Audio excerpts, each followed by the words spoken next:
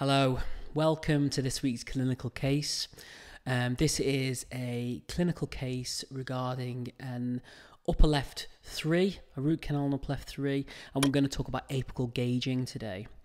And what I mean by apical gauging is that um, sometimes the uh, the apex or shall we say the portal of exit, the little hole that sticks out the end of the tooth, um, is you know, has different um, diameters. So, you know, um, usually the diameter is about between 20 and 25, but in some cases, this diameter can be much larger. And I suppose there's a bit of a debate between doing a conventional root canal, say just using GP, um, to to what do, uh, to what diameter level does um, do, do we do we use conventional filling techniques, obturation techniques over, say, using an apexification? Today, we're not going to do an apexification. That's where we uh, get a bioceramic putty and we place a plug at the end of the tooth. Today, we're going to use a, a more traditional um, obturation technique, just using um, a sealer, bioceramic sealer, and a GP point to length. But you'll notice with this case is that um, you know, uh, as we uh, shape the tooth, we shape it quite easily. But when we come to obturate it, we use our matched cone. It pushes throughout the end, and um, you know, this this video just is going to demonstrate or show you how to essentially obturate or gauge the end of the the root to see how thick it is, and um, and then and then obturate it uh, successfully. So we'll just have a look at the X-ray here. This is an X-ray of an upper left three and you can see here that the uh, the canal space here is quite wide. And you know um, all of my root canals are essentially the same price. And and and I mention this because you'd think that um, you know doing a doing an upper three there's only one canal and doing an upper molar there's three canals so there's more to do. But actually um, to, to obturate a, a wide canal is quite technically difficult to do it well. So this is why um, you know each tooth isn't easier than the other. You know, I'm not saying an anterior is more easy than a than a, than a molar. I think they have their different challenges, and essentially, usually with the molars, they're uh, quite sclerosed or calcified the canals, but with uh, anterior teeth you know the, the the canals are wide so it's it's more difficult to keep the uh, the obturation within the the the, uh, the the apex of the tooth um, another thing to mention with this tooth as well is that um, the, the reason why we find out that the apex is wide is because this uh, patient has uh, suffered some kind of resorption. Um, possibly she's had uh, orthodontic treatment in the past. I think that's what it was, and um, and maybe the orthodontist has moved the teeth too quickly. Um, she'd also traumatized the tooth, and that's how she'd lost the upper left two. So there's kind of that, um, you know, uh, uncertainty to why the roots are blunted at the end. And um, and obviously, if you uh, resorb away or blunt away the, the root, that's going to bring the portal of exit further coronally, which is going to make the, the, the portal of exit wider. So essentially, you know, this lady suffered a bit of resorption on this tooth, and it's made the uh, the the hole at the end of the tooth wider. So as always, we want to start with accessing the tooth. Accessing an anterior teeth can sometimes be difficult, mainly because you want to get the angulation correct um, with your burr. Luckily, in this case, um, you know I've dropped it down really, really nicely. I'm just using a DG16 endodontic probe here, just have a have a little feel around, and I've accessed it nicely. And what I've started to do in this case is I like to use an orifice opener just to sort of open up this uh, this this this this cavity here. So first thing I'm going to do is just uh, irrigate the tooth, and I'm going to use this HyFlex orifice opener. I believe it's a 25 uh, 12 taper, so it's got quite a thick taper on it, and I'm going to use this to uh, essentially just widen this uh, this space. Now I, I could use ultrasonics or I could use a fast handpiece, but I think in this case using the orifice opener was just just a just a bit easier for us. So as we know, the canal space is really really wide, so I don't really need to shape much to get our working length. And I'm going to use a size 15k file here. Of course, we know using a 15 is the best way up between a small enough file to get to length and big enough for us to get an accurate working length with our apex locator. and essentially I just pop the clip on the size 15 K file here. I very, very, very gently push it to length, and I, um, I rightly or wrongly like to uh, uh, push the file out to the end of the tooth and then back it up. And I feel like this gives us the most accurate reading because sometimes, you know, when you're um, using the apex locator and you're pushing its length, you get to zero. And if you push it a little bit further, you're still at zero. And you know, that's the difference between millimeters is, is massive, of course. So we um, record the zero reading here and it's 21 millimeters. So I'm going to use a size 10 HyFlex glide path file here at zero and I am just going to uh, shape the tooth and, and, and, and this, this glide path file just pushes right to length, nice and easy. And then we are going to use our master apical file. This is a size 25 variable HyFlex and we're going to minus 0.5 millimeters away from the zero reading. So I'm going to shape uh, this tooth with this file to 20.5 millimeters. And then essentially what I'm ready to do now is I am ready to do our fit radiograph. So straight away, we've shaped it within the first 10 minutes.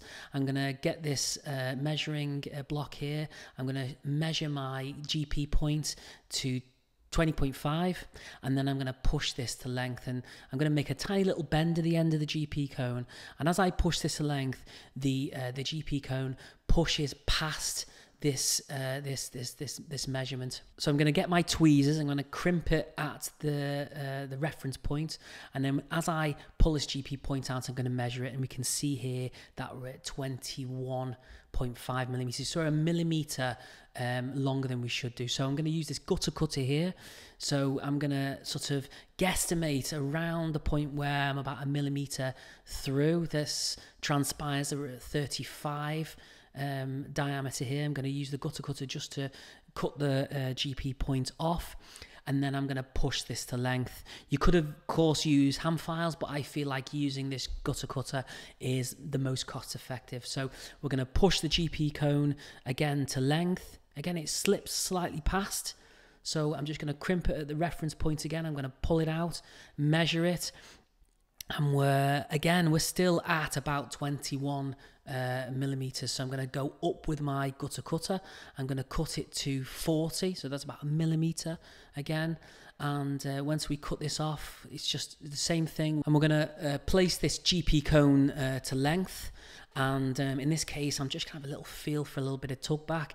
As I push it to length, I feel like it just is poking out ever so slightly. So I feel like it's still a little bit too long, meaning the the, the diameter of the cone at the end is is is too thin.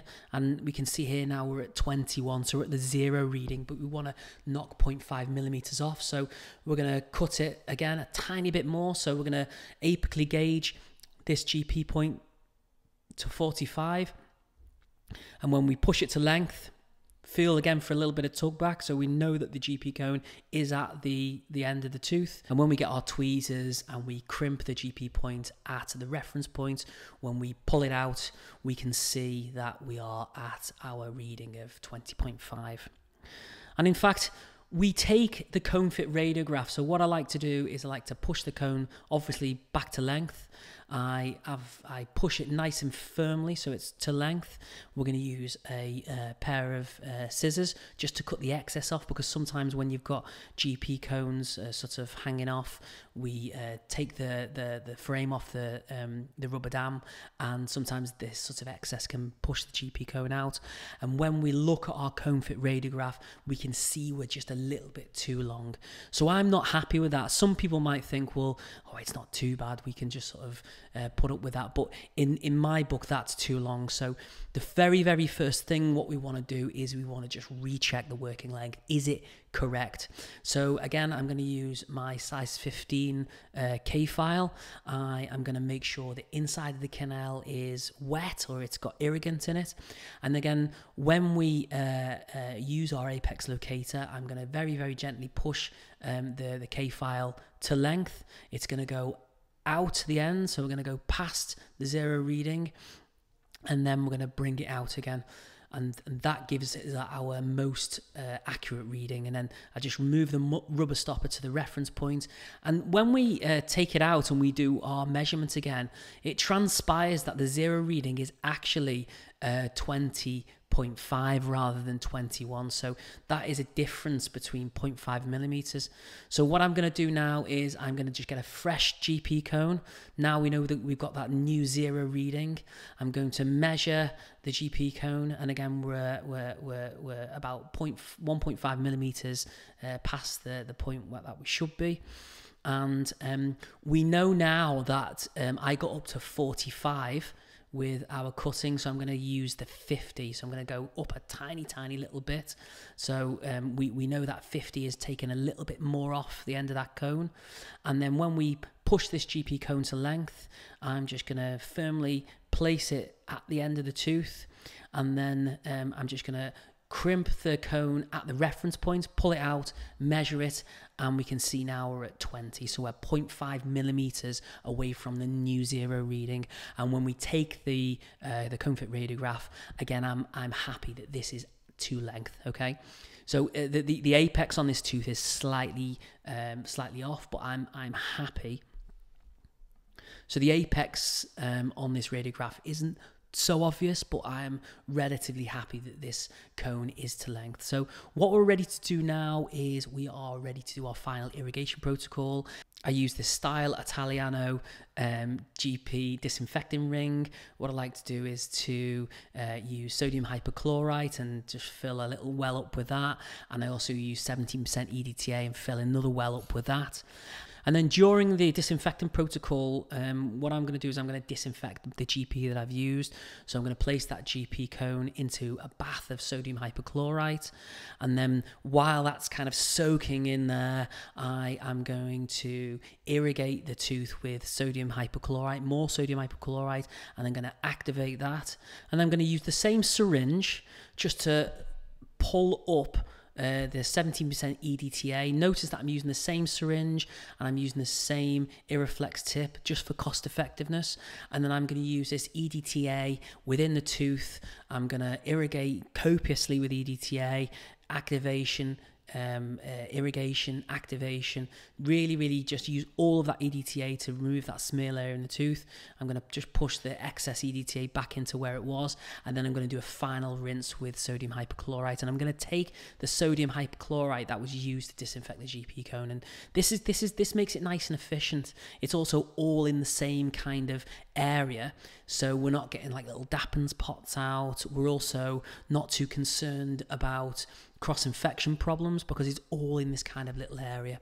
Then we're going to dry the canal space and remember we're using size 25 paper points here and what we don't want to do is we don't want to push these paper points out the end so believe it or not we're going to we're going to measure these paper points at 20 and luckily um, on the side of these paper points you can see there's little black marks and one's for 18 one's for 20 and one's for 22 I'm going to push these paper points uh, at this 20 millimeter length so I'm not going to push these through. If you push these paper points past the apex, they are the best way of causing uh, the, the, the canal space to backfill with blood because basically the, the dry paper point is just going to tear the tissue past the apex and this is going to bleed in and then you'll just spend lots and lots of time trying to stop the bleeding. Okay, so it's not great for you, it's not great for the patients, and it just frustrates you. So, um, you know, you, you could use paper points that are wider in diameter, but in this case, I'm just using the size 25. Again, it's nice and cost effective. We're then ready to use our obturation technique. I'm going to use this one fill with a visco tip. I'm going to load the visco tip by pushing a little bit out onto the back of my hand.